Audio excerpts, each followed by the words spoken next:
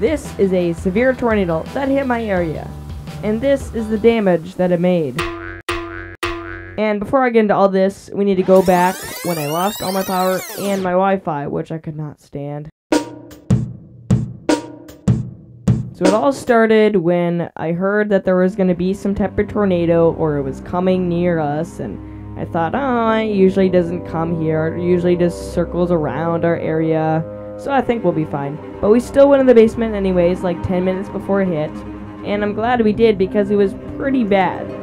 In fact, that uh, we usually go in the basement and close our windows. We had to go into our laundry room, and the power went off right when it happened. And uh, just for a few seconds, it was almost like a microburst. And then we stepped out there after uh, after the tornado was done, and uh, the damage was really bad.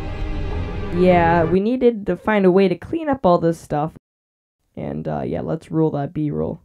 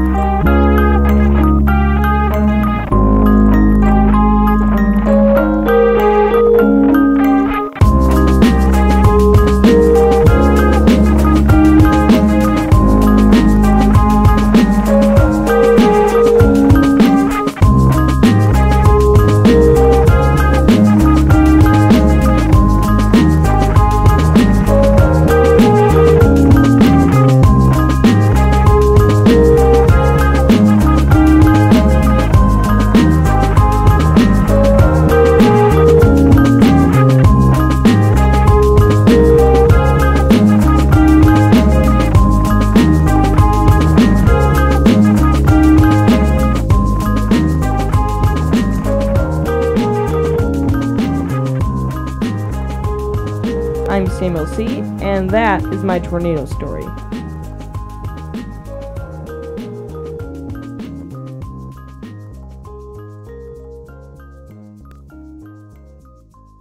Make sure to hit the subscribe button and click the bell notification. It's completely free, and uh, let's try to uh, bump that subscriber count up a bit. And thanks for watching, everyone. See you later in the next video. Bye.